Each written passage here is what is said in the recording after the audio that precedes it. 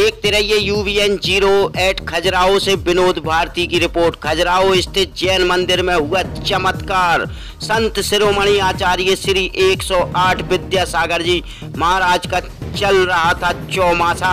खजुराहो स्थित जैन मंदिर में आज शाम सात बजकर तीस मिनट पर भगवान आदिनाथ की प्रतिमा पर जल से अभिषेक होने लगा। हज़ारों की संख्या में श्रद्धालुओं ने इस अतिशयकारी दृश्य की बनाई वीडियोग्राफी।